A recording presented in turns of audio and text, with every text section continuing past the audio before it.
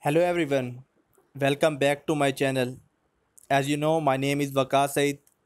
Today we will see the detailed overview of control panels used in the DCS system. So let's start now. First we see the type of cabinets we normally use for the JX300 XP system.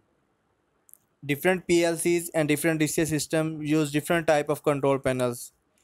Depending upon their mechanical dimensions and the accessories required for their control system.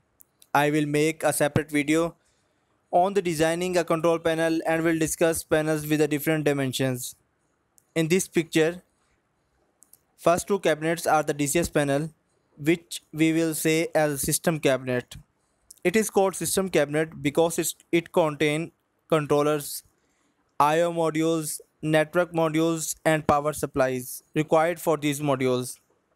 Then in the next panel, you'll see that isolators are present which are for the protection of analog signals from the field signal. We name this panel as auxiliary cabinet 1. All the panel other than the system cabinet in which field signal termination are done are called auxiliary or marshalling cabinet. Next panel is the power control panel in which we normally make the AC DC power distribution for distribution of power supplies in the auxiliary and system cabinets. And in the last you have seen the relay panel. We name this panel as auxiliary cabinet 3. This panel contains relays and TBs for the field wiring of digital signal. Now we will see the system cabinet for the JX300 XP system. First of all, the name or model name of system cabinet is XP202X. The normal size or dimension of the panel is 800 by 600 by 2100 mm in which 800 mm is the width 1600 mm is the depth and 2100 mm is the height of the cabinet. Normally the panel is with the IP rating of IP42 but it can be customized. Maximum cabinet weight will be 350 kg. Cabinet color normally used is light grey RL7035 but it can also be customized. So let's see the detailed overview of system cabinet internally. As the system cabinet is a double door panel, first we see the front view of the system cabinet. The first section in the front view of system cabinet is the power unit. The power unit or power rack consists of four power supply unit. These power supply are used as a two pair of redundant power supplies. A pair of 24 volt 10 ampere redundant power supply can only provide supply to three racks of a system cabinet. The second section on the front view of system cabinet is the IO rack.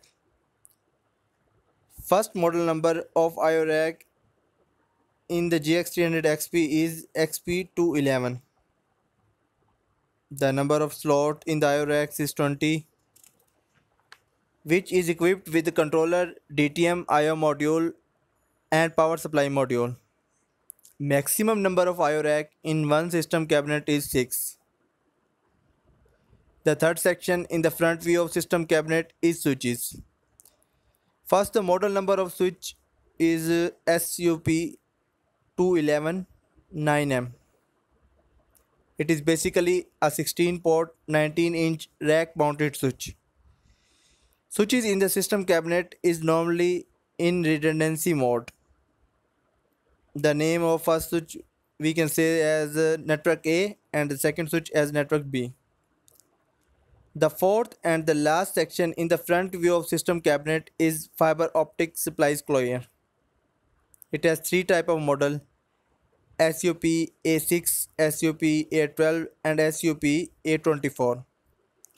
The model number depend upon the number of fiber optic point this closure have. So the number of fiber optic point will be 6, 12 and 24 as per their name. In this picture, the fiber optic layer has 12 points. Similarly, now we see the back view of system cabinet. The first section we see in the back view is the ventilation box. It is used to maintain the panel temperature and is used for the heat dissipation of panel equipments. Then in the second section, in the back view of system cabinet is the power supply unit. Power supply unit consists of breakers, TBs for AC DC distribution. We will see it detail in power uh, distribution video. Then the third section in the back view of system cabinet is the IO cage back. The back side of IO cage contain two type of terminal boards. One type can be used for direct signal termination. One type contain DB25 connector with DB25 cable that directly terminate on the relay board or universal board. The terminal board you are seeing in this picture is direct termination terminal boards for analog signals or it can also be used for digital signals. Then inside you can see that there is also a power terminal uh, modules and also you can see there are uh, db25 connectors present on the back side of io cage. Then we have uh, left to right trunking present on the back side of system cabinet. This trunking is basically used uh, when we are cable laying after termination on the backside of terminal board from all the racks. Similarly, at the end of cabinet, we have a grounding strip for, uh, for grounding cable.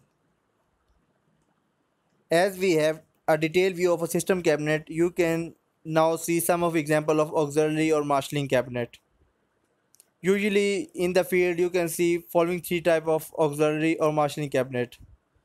For analog signals, the panel mostly contains the fused and unfused TBs on which we terminate our field signals. And for digital signals, the panel mostly contains the relays TBs on which we terminate our field signal. And similarly for the third kind, power cabinet, in power cabinets you normally see breakers, power supplies, redundant switch for these power supplies, and TBs for AC and DC distributions. Thanks for watching my video. That's all from today video. You can contact directly uh, with me on my email ID or my phone number on WhatsApp or you can directly comment so that uh, if you want any if you want to give any suggestion or any further question you can ask me directly. Thank you